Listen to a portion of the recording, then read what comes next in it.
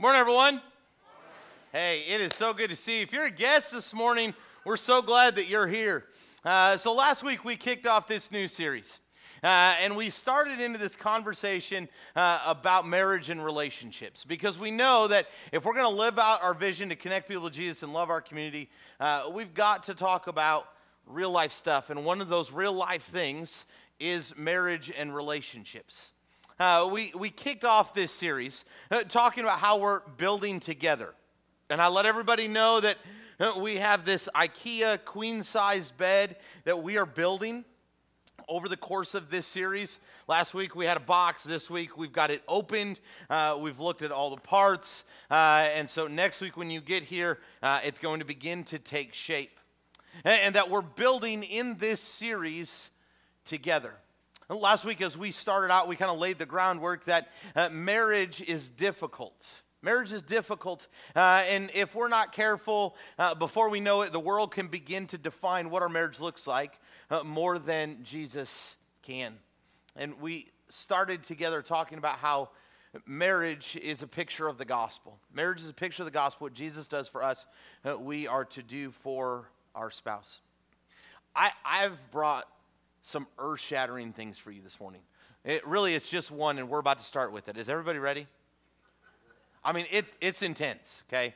And you probably have never thought of things this way, but one of the reasons, one of the main reasons for difficulty in marriage is because men and women are different.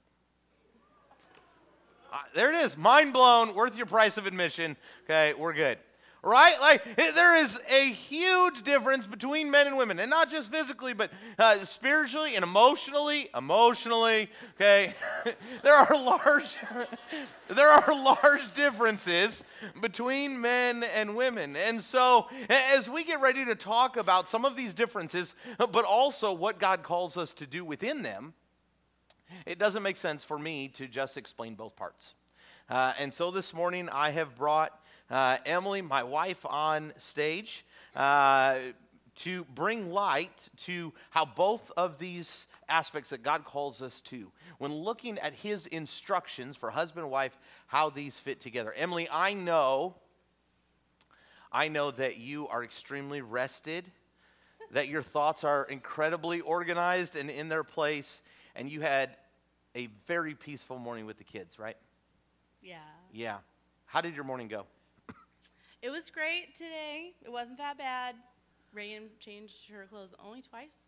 And I dragged Levi out of bed, and he only cried for a minute. And Jack has underwear on. And that's a win. And Maggie didn't put anything in the toilet. Yep, there you go. So. Perfect. Perfect. This morning, when we talk about uh, marriage, when we talk about our marriage, when we talk about relationship between a husband and wife, uh, we want to be real clear is that we don't have all of this figured out and that we are learning as we go, just like all of you are.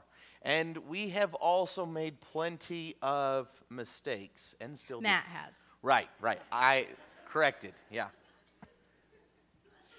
Um, as we walk through God's word, together, we're just going to talk about the things that we're learning, the things that we've messed up along the way and learned from so far. And there are plenty of people in here that have been married way longer than we have, and they've been walking with Jesus way longer than we have. But we just want to share our perspective since we've been studying this passage. Um, and just show what God has been teaching us while we've been studying this passage. So we don't get an extra dose of happy marriage just because Matt's the preacher. Right. Just putting that out there. Right. Uh, as we jump in uh, into the middle of this, I want to pray and then we're going to go. Uh, Father in heaven, I'm so thankful for your church. God, I'm so thankful to uh, have this time where when we sit together, we learn together, we get to worship together.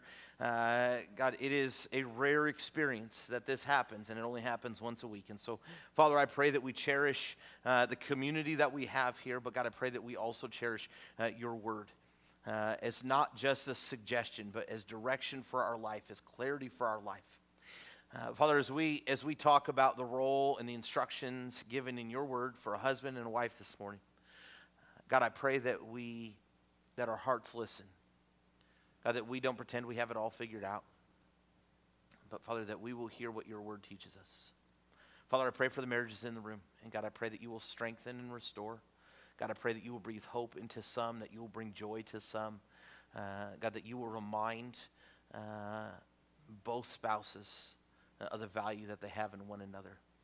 Father, I pray for those in the room that aren't married, and whether they were for a long time or hoping to be some someday or someplace in the middle, uh, God, I pray that you will show us the truth in your word uh, of not just how you love us, but what you call us to, because it's there as well, even in these words.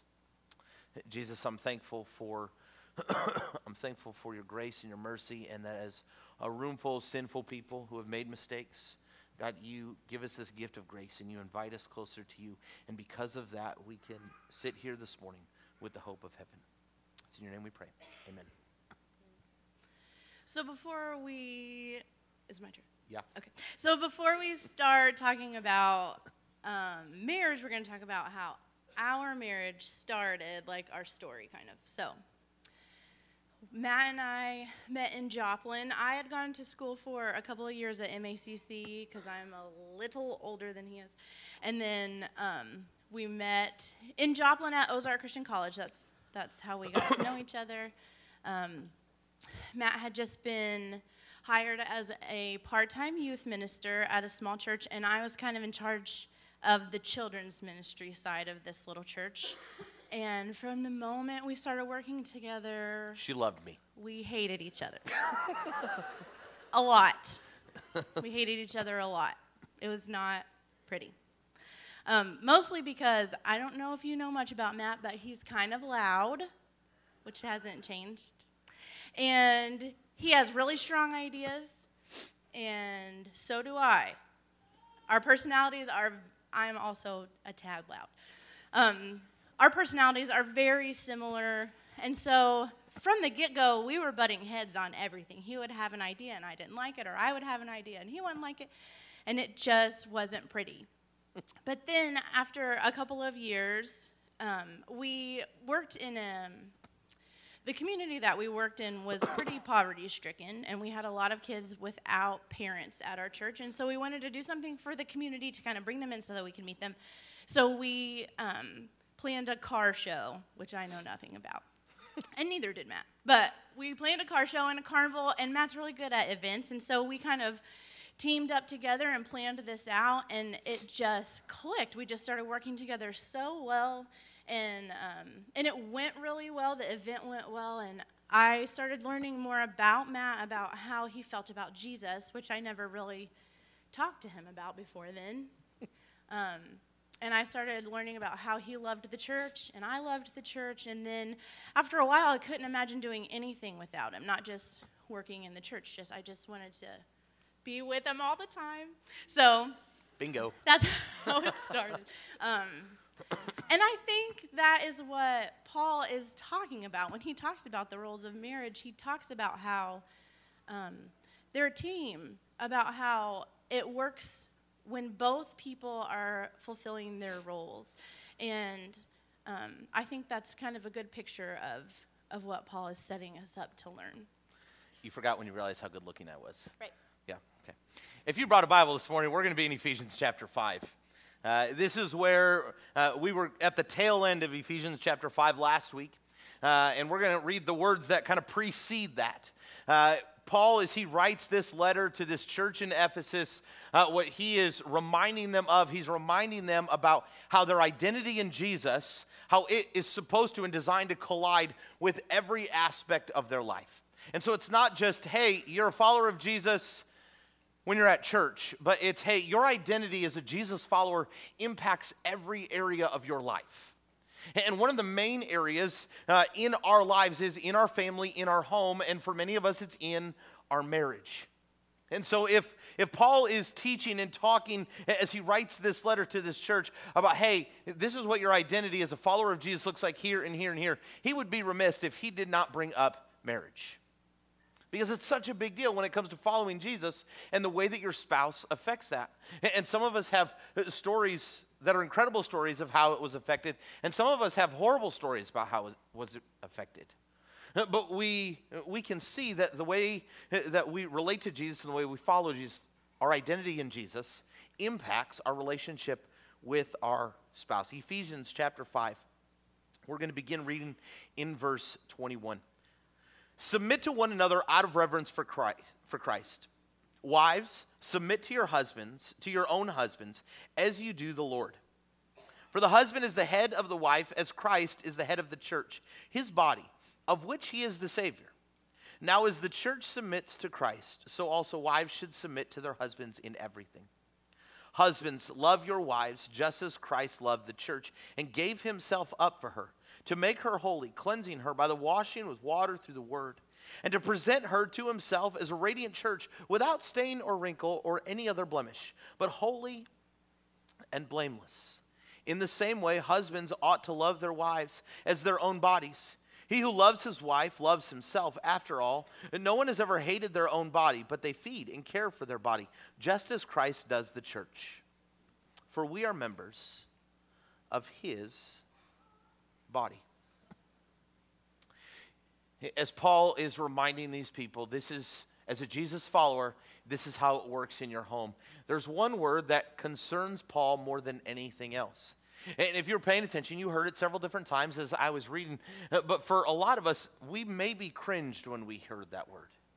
Uh, we don't like this word. It's not a fun word. And for, for some of us, it's a really difficult word. Emily, what is that word? Submit. Submit. Why don't we like the word submit?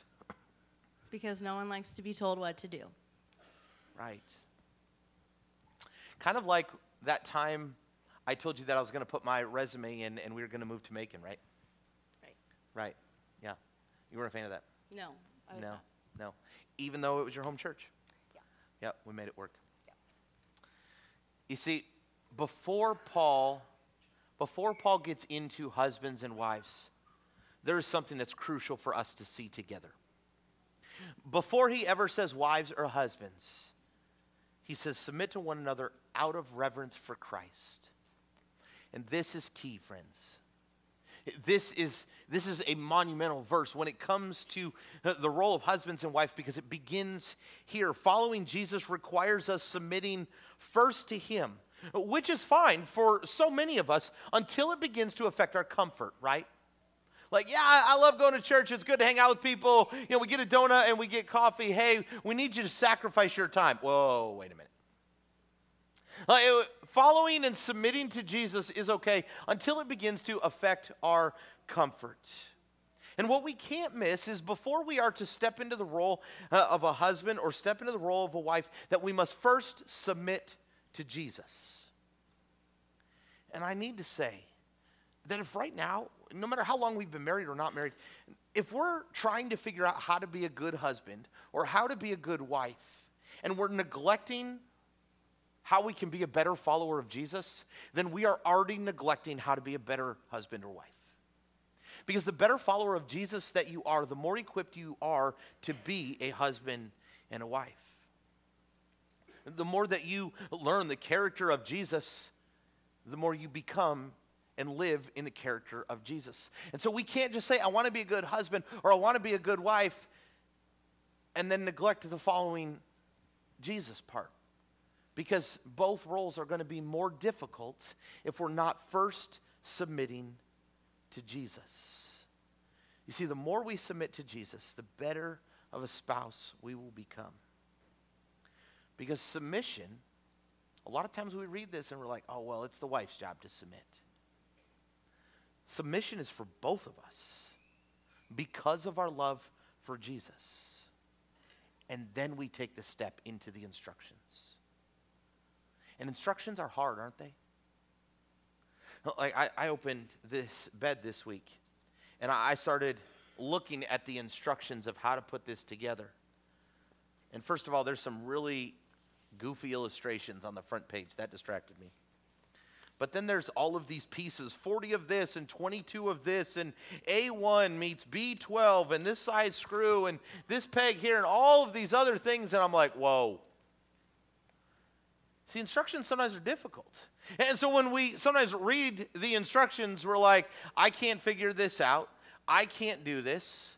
Some of us, guys, I'm not pointing at us, but some of us are just going to say, I don't need the instructions, I'll figure it out. And a lot of times that doesn't work. Some of us just give up, or some of us just walk away.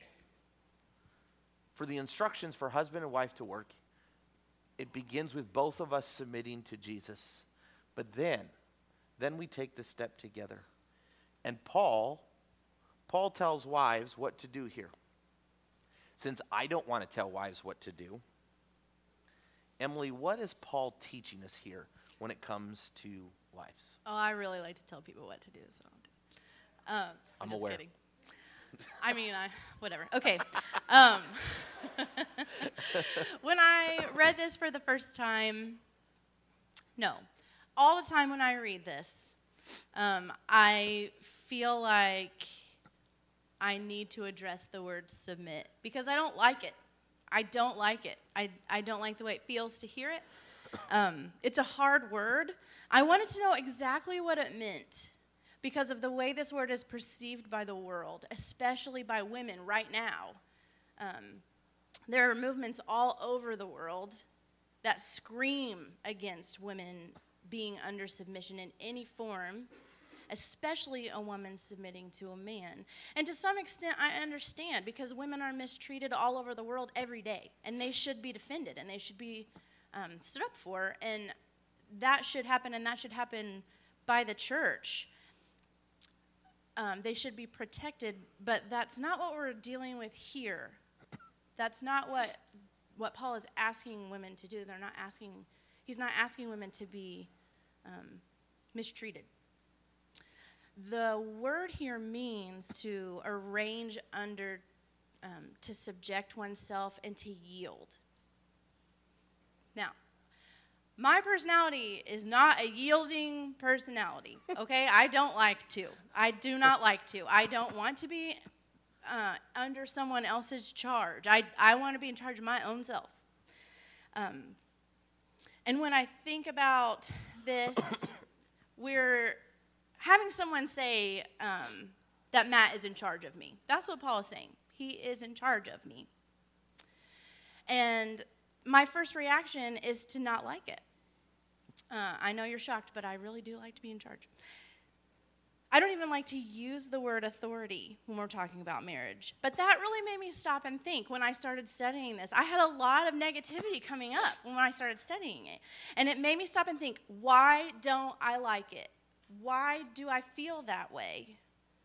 And I think it's because I've taken the word submission and the word inferior and I've linked them together and made them make the same have the same definition. And that's not what Paul is teaching us here. Just because I am submitting to Matt doesn't mean that I'm inferior to him. Paul isn't telling women that their wives are smarter than, or that their husbands are smarter than their wives, or more important than their wives, or better than their wives. That's not what he's saying. They're leading their wives. And this is really key to understanding the scripture. Um, I want you to picture a football team. there you go, Kara.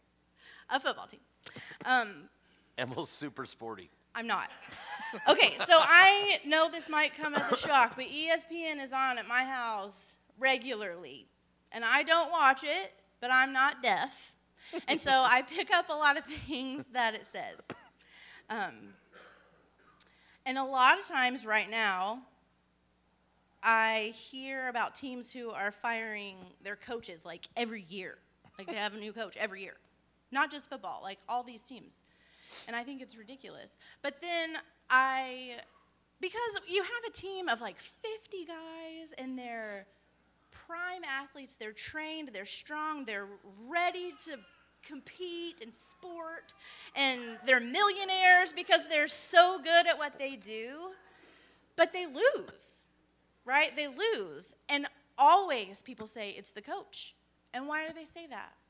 Because the coach is the leader. The coach is supposed to be the one who knows the strengths and weaknesses of the players. They're supposed to know what goes well for them and how they should be used and how their talent should be utilized. And if they're not doing it right, then they lose. And that is a good picture of what marriage is in this text, I think. Um, the team needs someone to lead who knows their strengths and their weaknesses. We are a team. Matt and I are a team. Our goal is to glorify God with what we've been given. Matt is in charge of making sure that that's carried out. My job is to look to him and follow him in that. And if he thinks that something is good for our family, then I am supposed to trust him in that. That is what submission is. and it isn't conditional. It doesn't mean that I trust him until I think that it isn't a good idea. It doesn't mean that I trust him until he makes me mad. Not that he makes me mad. Never. It doesn't mean that I trust him until I think that my idea is better. I look to him and follow him because he's the coach. God has set him up to be the leader. And that means that I will do my best to trust his judgment with how he handles our family. I won't make him prove himself to me before I trust him, before I follow his lead. I won't make my own plans when I disagree with him, mostly because I know he'll ask me how I feel about them before, before he makes the plans. Um, and I won't rip him to shreds every time he makes a mistake, like I was expecting him to fail. That's what submission looks like. That's what biblical submission looks like. Um, you've seen examples of teams that don't win because everyone's trying to be in charge. And what happens? They lose. Not just a sports team, any team. If a team doesn't have a united goal that they're working towards, it doesn't work. They lose.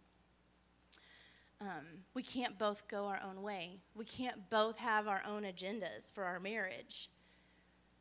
And Jesus is all about unity. That's not a united way to live. If we both have different ideas about how our marriage should go, it's not going to work. We have to fall under one united um, goal. And please don't think that I'm saying that I lose my identity while submitting to my husband, because the text does not say that. It does not say that I forget who God has created me to be. Uh, I don't lose my personality or my passions or my purpose because, because, God is, because Matt is my leader. That's not what it says. And that is not what submission is. It's telling Matt that I trust him with our family I trust Him with myself, with our well being, and this pleases God because that's what He's asked us to do. As Emily has given wives a picture of submission, guys, guys, if we want to change the perception of submission, then we have to change the perception of leadership. Or as Paul says, the head.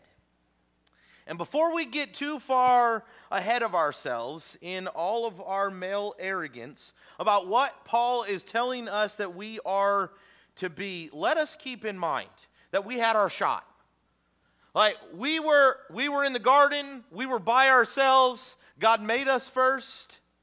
And we couldn't make it more than a couple days of naming animals before God looked at us and be like, ah, they need some help. All right? So let's not get too far ahead of ourselves and too confident, be like, oh, the head, the leader. No, no. It was not more than a couple days before God realized we needed some help. When Paul calls husbands to be the head or to be the leader, he is not talking about boss, dictator, or ruling authority. And part of the reason that there is such a misunderstanding of submission, like Emily mentioned, is because, guys, in all of our male pride, we have warped the idea of leadership that God is calling us to. And here's what's key as what Paul is writing is guys, leadership is not a task to complete. It is, it is a design that we live in. It's not a task to complete. It's a design that God has placed inside of us. That deep in our DNA, He has placed leadership qualities in order to live in His design. And I know what some of you are thinking because I know some of you, and you think, Matt, wait a minute. That's not me. I'm not a leader. I'm not an up in front of people guy. I'm not rallying the troops. I'm not getting up and giving any speech at all. Uh, I don't want to make all the decision. That's not my personality. And you're right. you're right. For some of us, it's not our personality.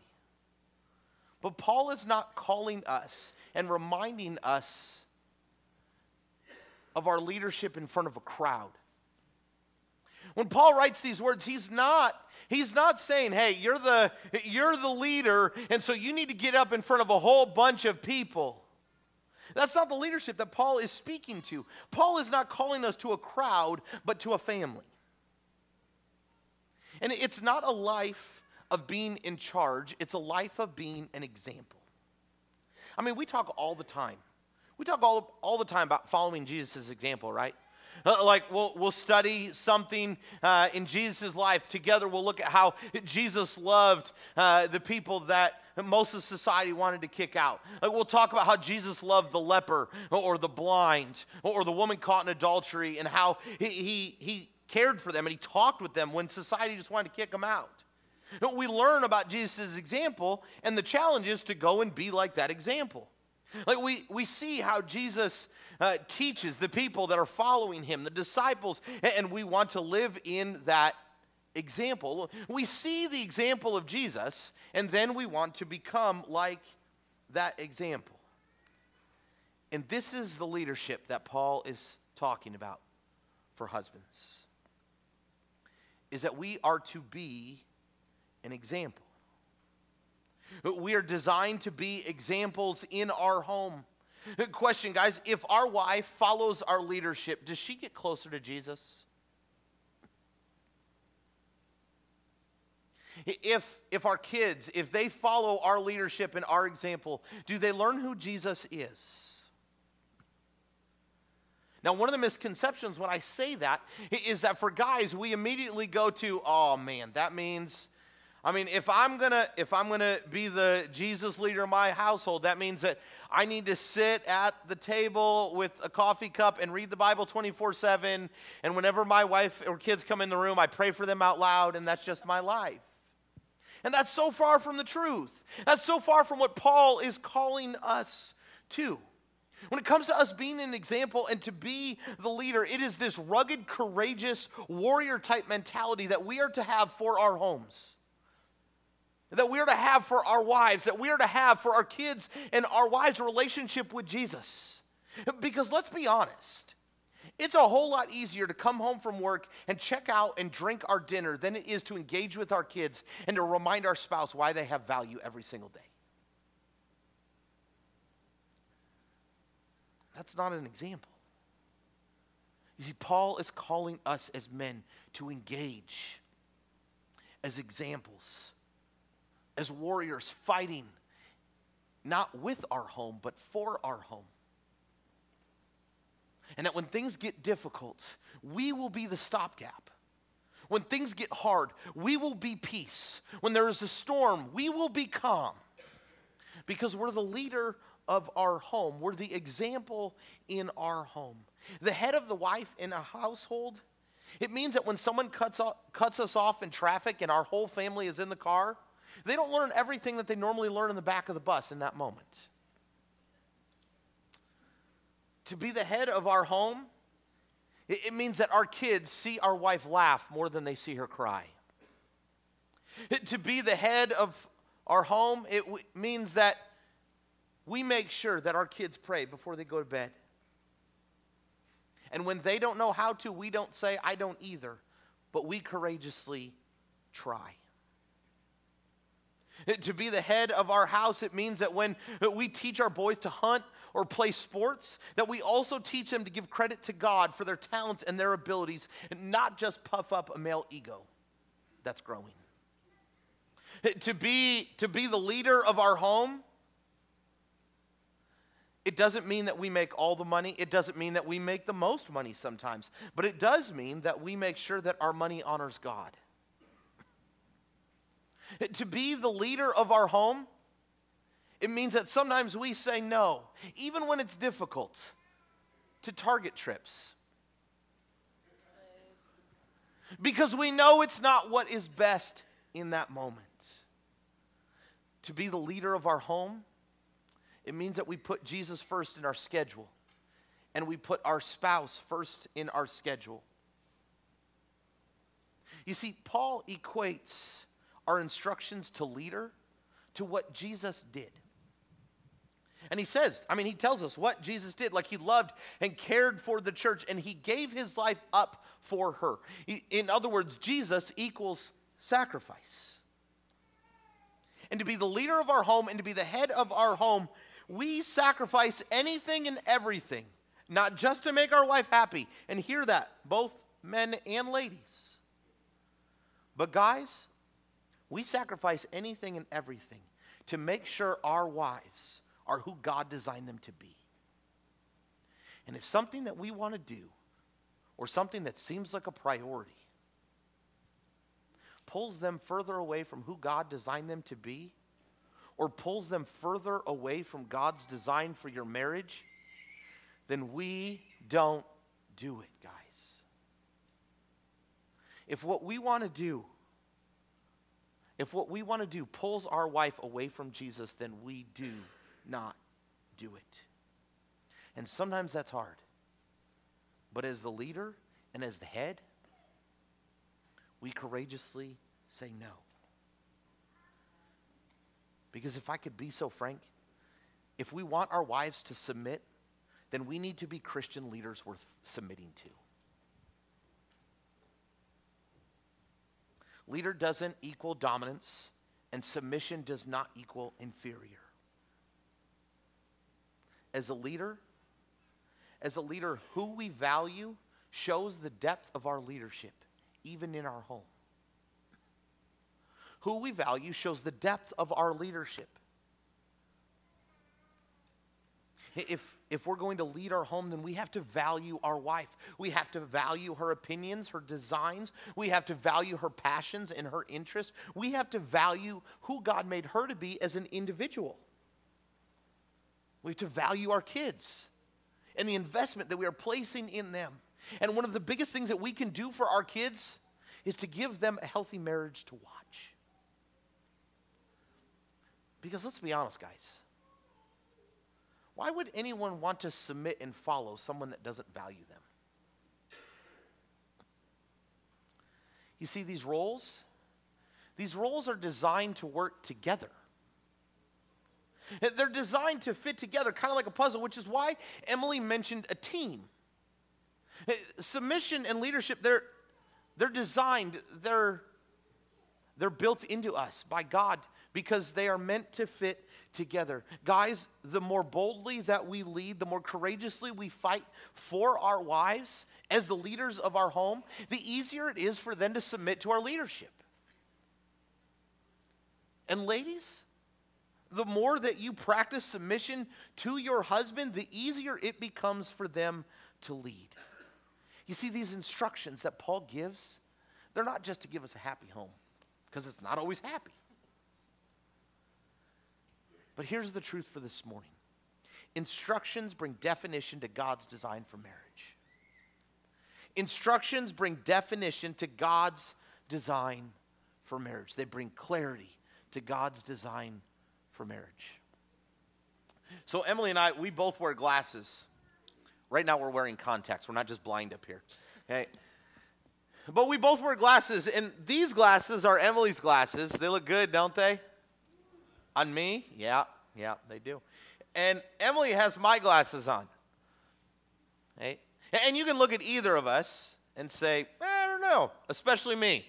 Like if I showed up on a Sunday and be like, oh, you like my new glasses? All you're lying to me okay, if you say yeah. I know that. Because they're not for me, they're not designed for me. The same way, my glasses are not designed for Emily. When, when, I, when I look through these glasses that are made for Emily and her prescription and the way that she is built, guess what? I can't see. I can't see what's right next to me. I can't see what's right in front of me.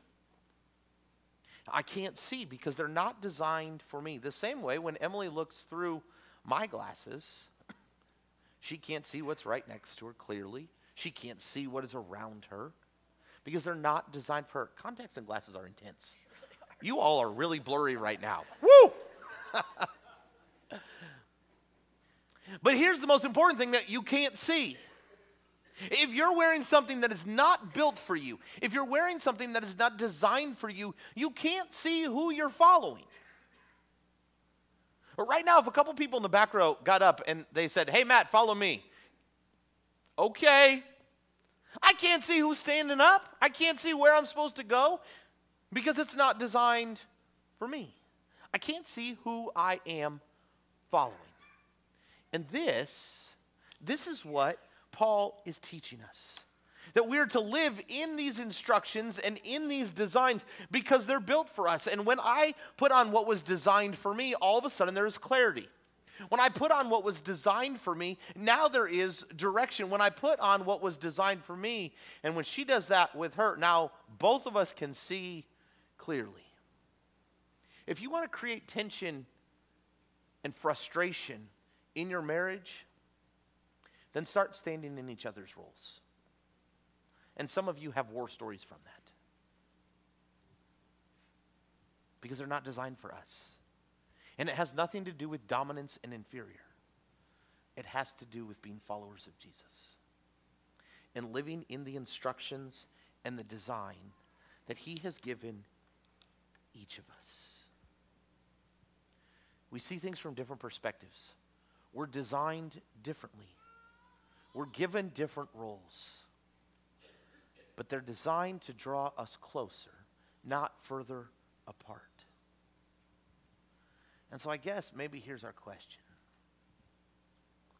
If submission begins with following Jesus and leadership begins with following Jesus, and before we can do either of those, we have to follow Jesus. Maybe the best question is not how we're doing with our role, but how we're doing it following Jesus. And this is true whether we're married or not. If you're single and just living it up and loving it, the question is still how are you following Jesus? If you were married for a whole bunch of years and now you're not, the question is still, how are you following Jesus? And right now, if you are married, before we can be leader or before we can be helper, we have to be follower. And so this morning, as hard as the instructions are, if we're going to get through them, we have to be followers first. Because instructions bring definition to God's design. Let's pray. Lord Jesus, we love you so much, and we thank you for this time. We thank you that we're able to gather here together. Um, I pray that you will give us insight and wisdom about how to fulfill the roles of marriage that you've put in the Bible for us. Thank you for giving them to us, and I pray that you will help us to be obedient and humble enough to follow your rules. I pray that you will um, be with us in our marriages and just with our walk with you. Just make yourself known to us so that we can do a good job following you. I pray that you will bless us and keep us. In Jesus' name I pray, amen. Why don't we go ahead and stand together?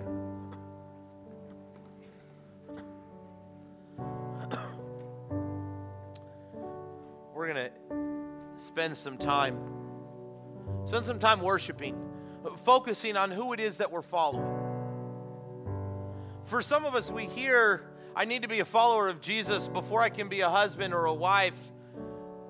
I think, yeah, I, I've not really done that. And I'm, I'm trying to do this wife thing or I'm trying to do this husband thing, but man, I've, I've not really done the Jesus thing. And so maybe as we worship, some of us, we say, man, I, I need to give my life to Jesus before I can be the spouse that I need to be. And maybe today's the day that you do that. Maybe, maybe for some of us, maybe for some of us in the room that are married, we recognize, man, I've been trying to stand in their shoes because it's more fun to lead than to submit sometimes. And on the contrary, sometimes it's easier just to submit and go along with it than to stand up and lead. Maybe for some of us, our, our marriages, they don't, they don't point to Jesus right now. They don't get us closer to Him. Guys, for some of us, maybe our leadership does not lead our wife and kids closer to Jesus. And ladies, for some in the room, maybe the way that submission is taking place or not taking place leads us further away from Jesus. And so maybe this morning as we worship, you say, you know what? Today's the day that I'm going to lead. Today's the day that I'm going to help instead of control. Today's the day that I'm going to live in the instruction and the design that God has given us. Because they bring definition to God's design, and I always want to live in God's design. Maybe for some of us, we say, you know what? My marriage is, is not in a good spot for lots of different reasons, and for some that I don't even know anymore. But my marriage is not in a good spot. Our relationship is not good right now. We're fighting all the time, we're arguing all the time. There's no joy. And so maybe this morning as we worship, it's not singing and it's not thinking, because you think all the time about it. Maybe this morning as we worship, you just need someone to pray for you. And during this time, there's some in the back, and Emily and I are up front. And maybe you just need to say, listen, we need, we need somebody to pray, to pray hope into our relationship, to remind us of the value that we find in one another, and not just all the things we need to do. And so maybe during this time of worship, we recognize and we boldly step out and say, I need someone to stand with me.